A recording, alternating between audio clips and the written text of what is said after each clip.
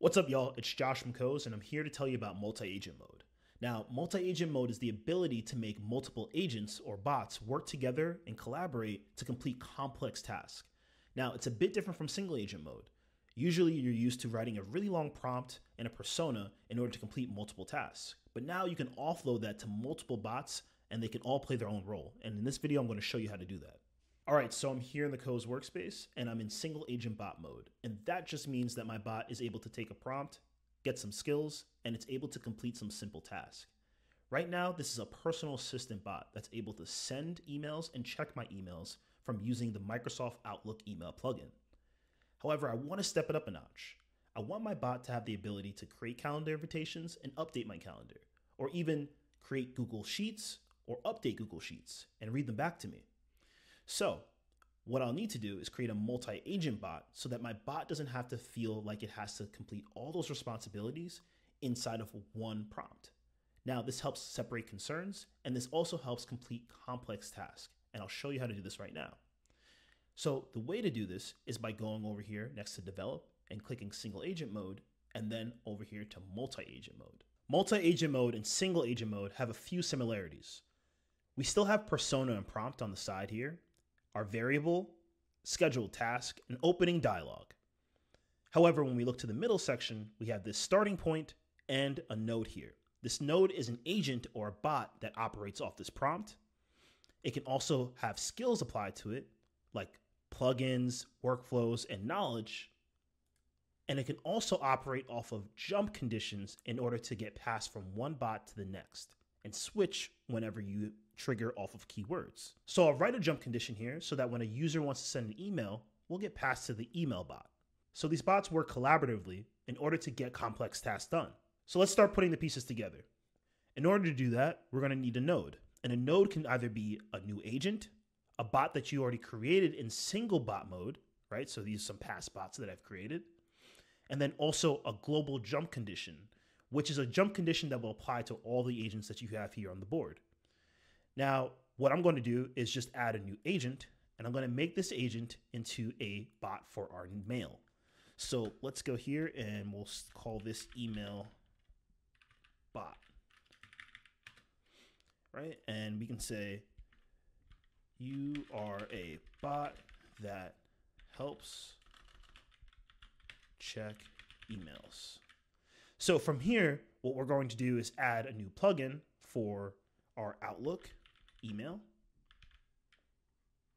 right? And we're going to choose both of these options to get the mail and also be able to send mail, just like how we had before in our single bot mode. Now, what I'll do is I'll take this jump condition that I have here to respond if a user wants to send emails or check their emails, and I'm going to pass it over here to this email bot.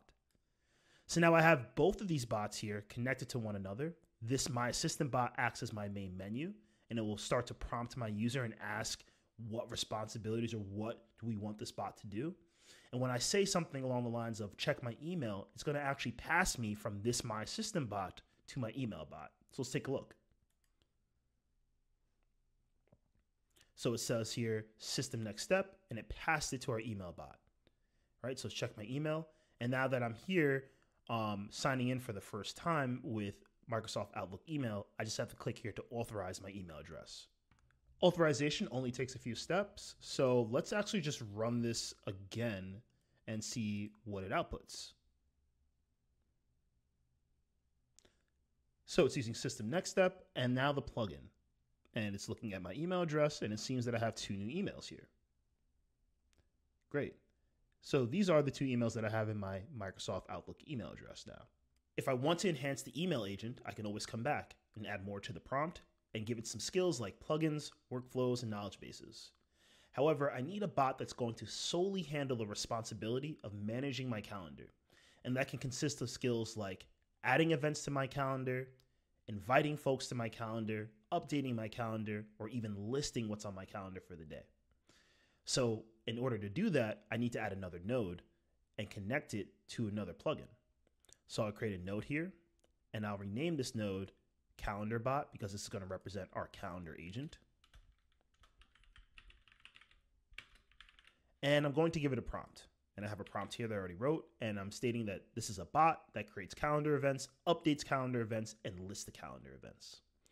So what I'll do now is I'll connect this jump condition that I've already created that responds if a user wants to send a calendar invitation, update a calendar invitation, or list them. So I'll take this here and I'll pass it over to our calendar bot. And now what I'll need to do with this calendar bot is give it some skills. I'll go here to our plugin list and I'll also add Outlook Calendar. Now, if you have another email that you have uh, managing on another service, you can always create a plugin here with the API. But for now, I'm going to use Outlook Calendar. So I'll go here and I'll add all the skills create event, list event, and update event. So I'll go here and I'll click out and I'll see that my skills are already here ready to go. So my bot is currently chatting with our email bot. So if I say to my bot now, create a calendar event on Feb 12th at 11 a.m. Pacific time, title the event webinar. So I'll send this over to our bot and we'll see how it system steps and changes it from our email agent to our calendar agent now. And you'll see that it's using the plugin and it's stating that the calendar event was created and we can view it here.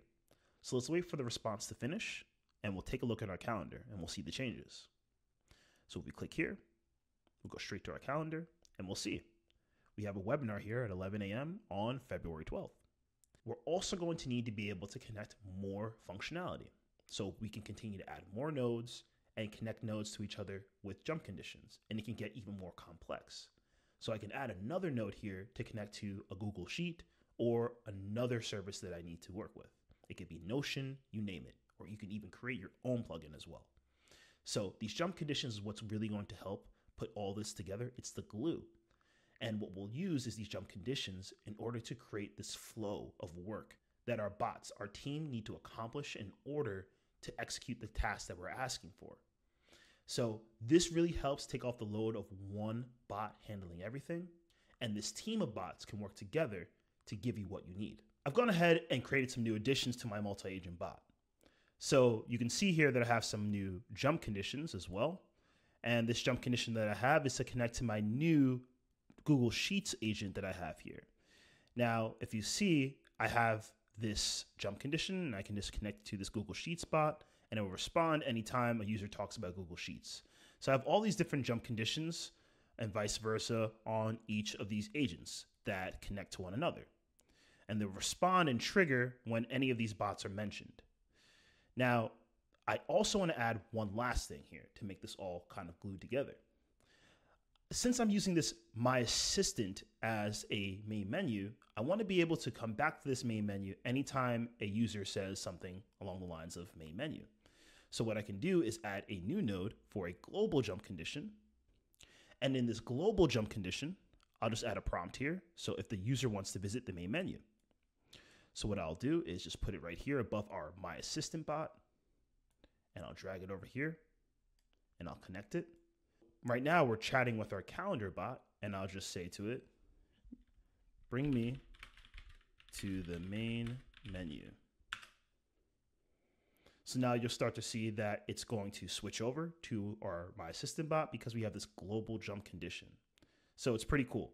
Now it's listing out all the things that I can do with this bot based on the prompt that I have. And that's it for multi-agent mode for now.